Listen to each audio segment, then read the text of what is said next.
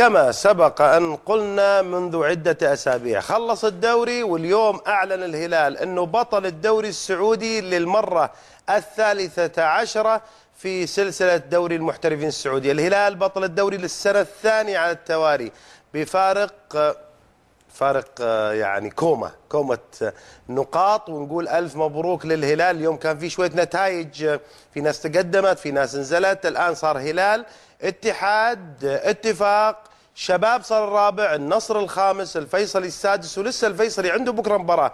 مع الأهلي ربما لو استطاع الفيصلي يحقق فيها نتيجة ربما يقفز إلى الخامس ويتراجع النصر للسادس الأهلي أيضا عنده معادلة أخرى في تلك المباراة. ألف مبروك للهلال يستحق الفوز.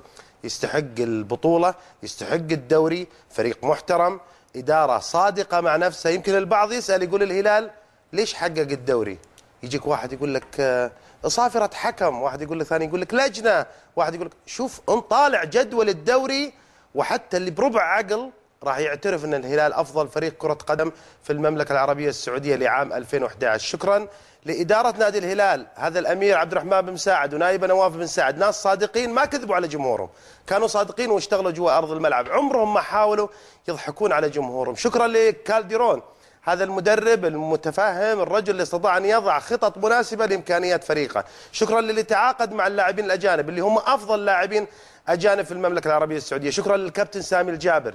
اللي ياما تحمل وياما تحمل وأثبت سامي الجابر إنه مش لاعب متميز وأسطورة من أساطير كرة القدم السعودية خارج الملعب. لا أثبت إنه واحد من أميز إن لم يكن أميز مدير كرة قدم في المملكة العربية السعودية حاليا. نروح للعيبة.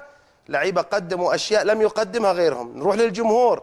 جمهور الهلال أثبت بأرقام التذاكر في هذا الموسم أنه لا زال هو الرقم واحد وهو الأكثر حضورا في المباريات وأن الهلال يملك المدرج الأكثر حضورا في المباريات على مختلف تحدياتها. ألف مبروك.